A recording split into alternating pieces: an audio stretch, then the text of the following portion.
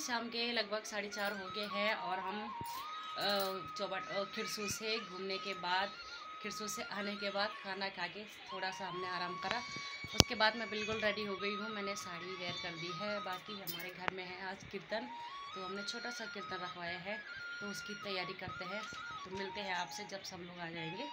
हो गई है लगभग, यहाँ पे मैंने बना दी है पिंजरी इसके अंदर। पिंजरी बना दी है और ये है चिप्स। तो जो कीर्तन वाले आएँगे। पिंजरी मैंने प्रसाद के लिए बनाई है। इसको ना ढका के रख देते हैं। बाकी दीदी कर रही है वहाँ पे तैयारी। यहाँ पे बैठने के लिए बिछा दिया है और यहाँ पे कर रही है तैयारी दीदी।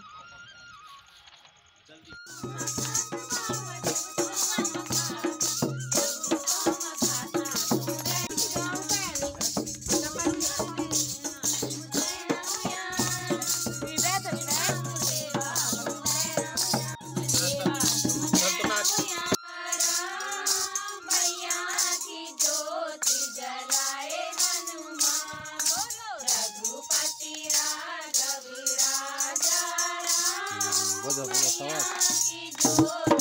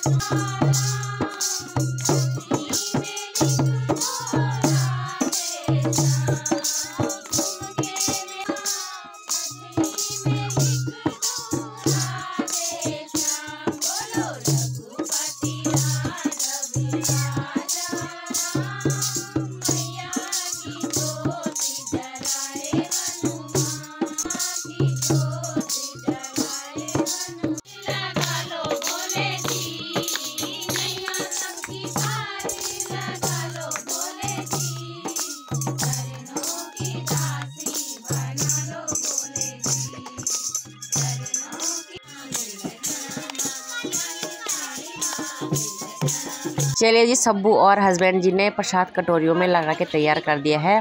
पहले बार आरती करेंगे, आरती के बाद चाय और प्रसाद दोनों दे देंगे।